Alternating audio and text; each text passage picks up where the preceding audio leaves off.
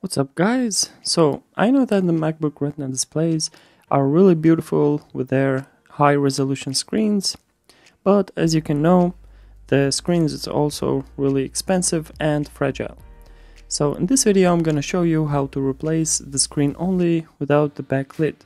Just so you know, this repair is really hard and painful, but it can save you a lot of money this way. So as you can see, when the MacBook turns on, the Apple logo will look blurry, yes, as you can see, and then the screen goes black. So without being said, let's get into the replacing process. So we are gonna start by removing the bottom case cover and then the first thing you need to do is remove the battery itself as you can see I'm trying to remove it with a plastic tweezers but I didn't manage to do that so I had to use my hands. Uh, also you need to remove it really carefully. So now uh, all we need to do is remove the screws that holds the LCD board. As you can see in these models from 2016 until now uh, Apple is making those boards on the bottom case uh, so they can save a lot more space on the screen so they can make the screen a lot thinner. So uh, now uh, that the board is loose we are gonna remove uh, the Wi-Fi and Bluetooth antenna uh, which it, it's holding it's holding to the bottom case with four screws. And now we're gonna remove the Wi-Fi and Bluetooth cables. Uh, I need to tell you to be careful because they are really fragile. So now we're removing the Wi-Fi and Bluetooth antenna which is also used in this model as a cooling heat heating sink.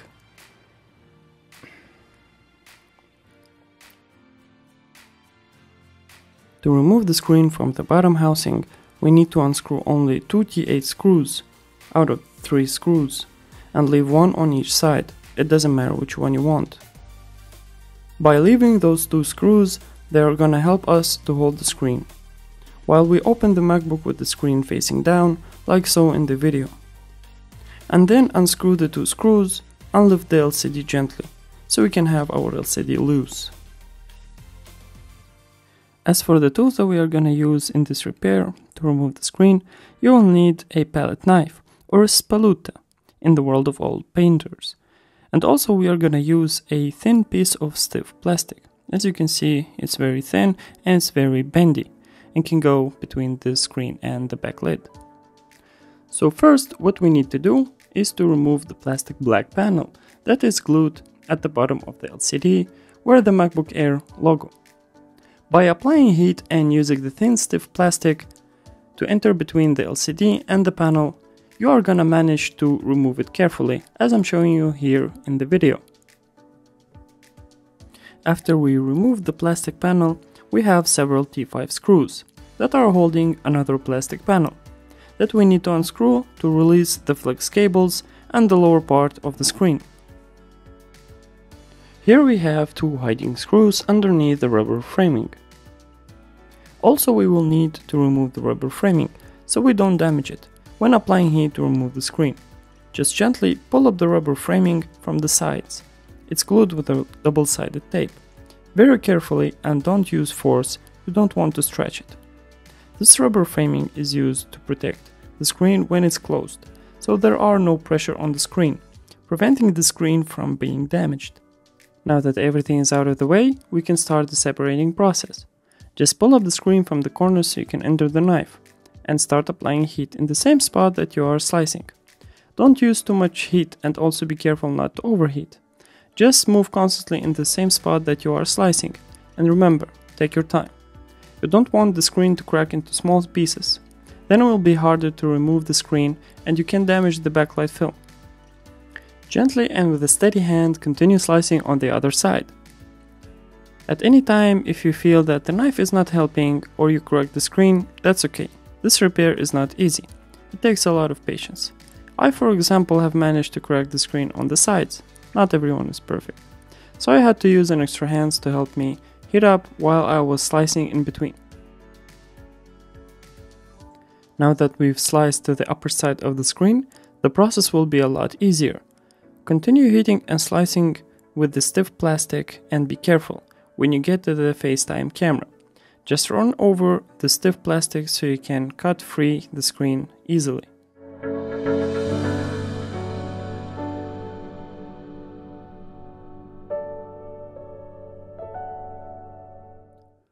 Now that we finished slicing the glue between the LCD and the back lid, we can lift the cracked screen from the lid, but carefully not to attract too much dust onto the backlight. With the help of the tweezers, start removing what's left over of the cracked glass. Again, really carefully, so the small cracked glass don't get on the backlight. I'm gonna try and leave most of the old glue, because it's an original glue, and it can be used several times. Believe me, it's working. I do this frequently on the iPads, and it's working perfectly.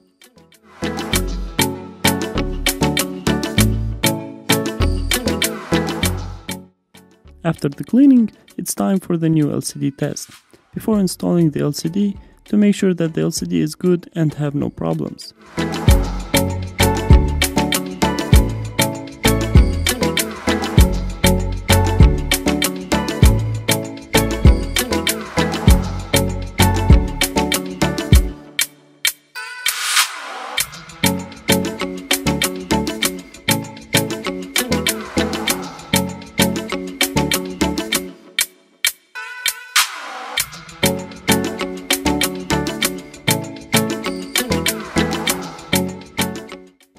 To check for dead pixels and any lines on the LCD that shouldn't be there.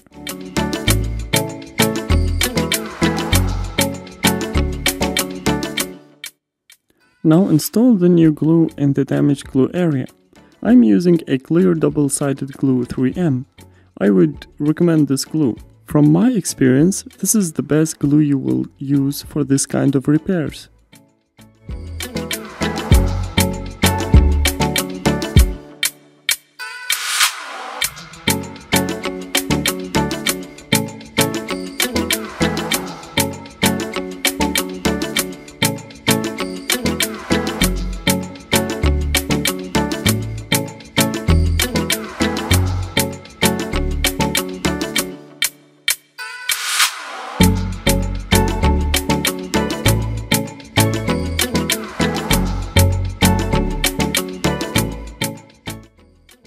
Make sure the glue is cutted to fill the exact same spots that was the old glue.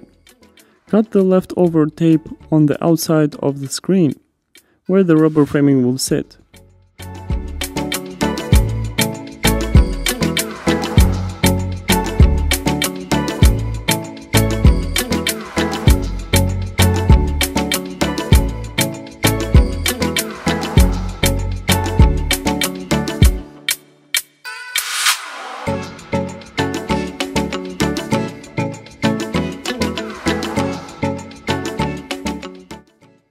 You'll need one more thing to transfer from the old cracked LCD, which is the metal panel at the bottom of the LCD. It is very important to transfer this panel since we are replacing the LCD only without the lid.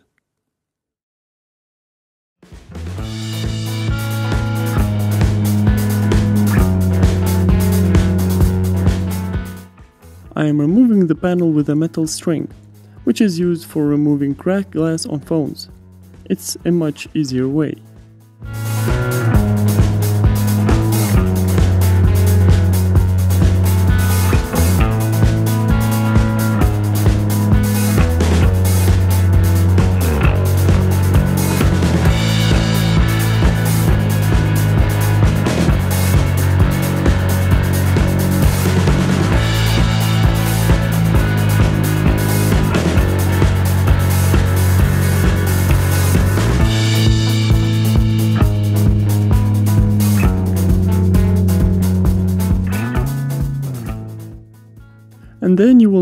Clean the old double-sided tape and install the new one.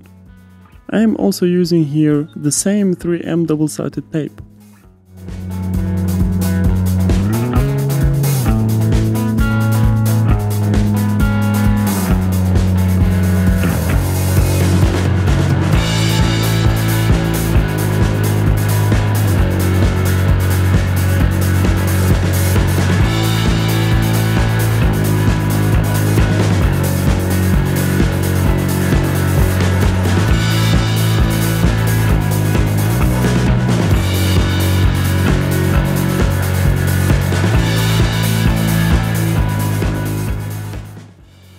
And now for the fun part, which is first of all is installing back the rubber framing.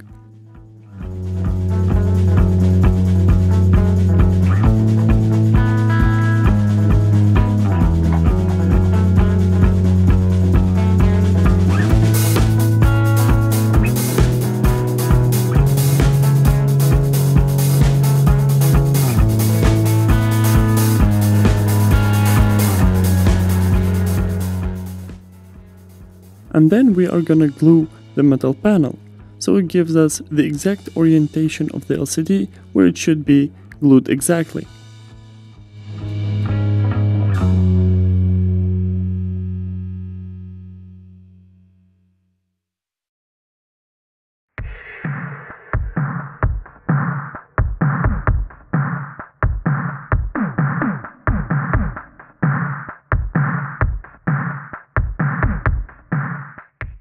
We are now gonna press on the panel to glue it to the LCD.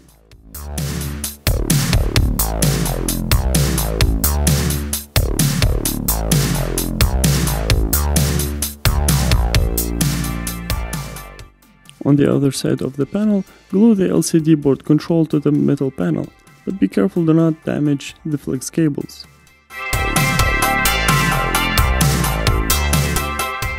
Now we have everything ready to install our new LCD to the lid. Check first for dust on the backlight film and do not leave fingerprints on it or press with the cotton pads. Just a light touch with the butt is enough to remove the dust.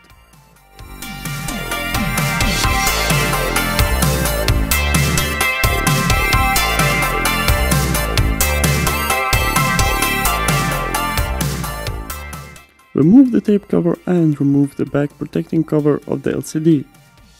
Also check for any fingerprints or dust on the LCD.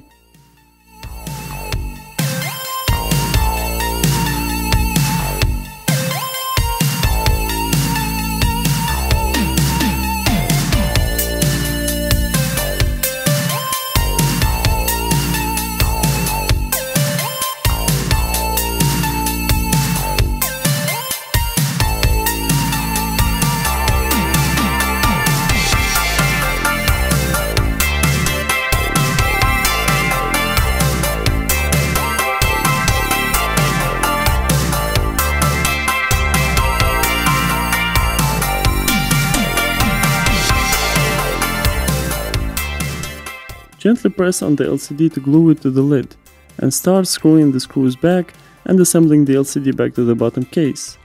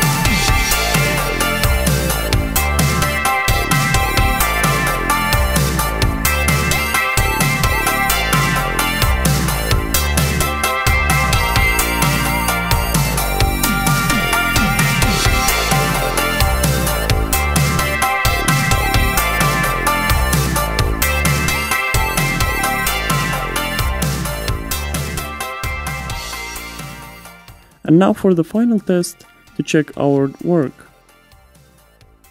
Unfortunately, I can't do any further test because I don't have the password.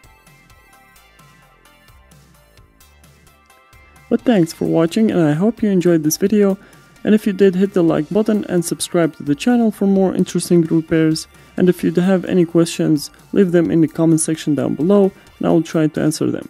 I'll see you next time.